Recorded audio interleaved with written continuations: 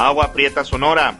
Entre la vida y la muerte se debate un hombre que fue agredido a balazos de calibre 45 milímetros y que por la gravedad de las lesiones que se causó a la víctima, este ha sido trasladado en calidad de grave a la ciudad de Tucson, Arizona, en los Estados Unidos.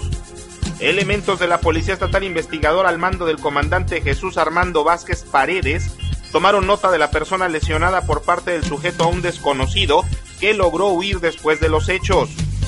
Saúl Celaya, alias el Oaxaco, de 24 años de edad con domicilio en la colonia Ladrillera, resultó con tres heridas en la espalda sin orificio de salida.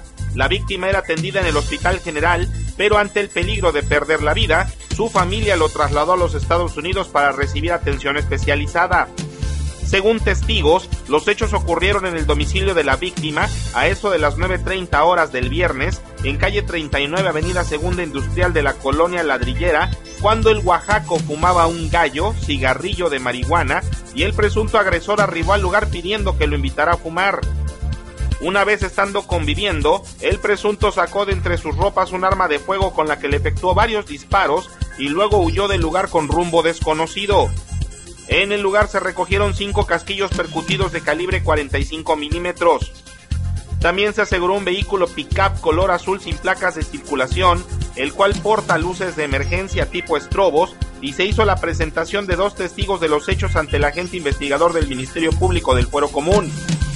El comandante Jesús Armando Vázquez Paredes de la Policía Estatal Investigadora encabezó personalmente las pesquisas.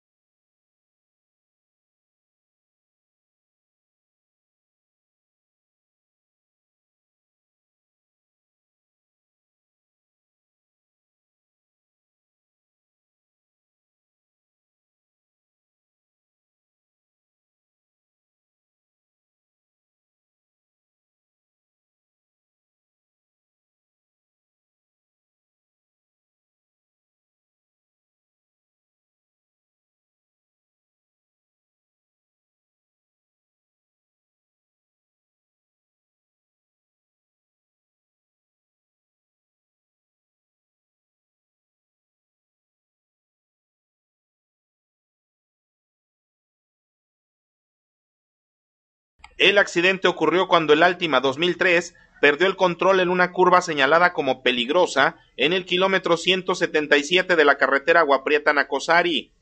Girando sin control, obstruyó el carril del automóvil Cavalier 1992, que aunque intentó eludirlo, llevó la peor parte.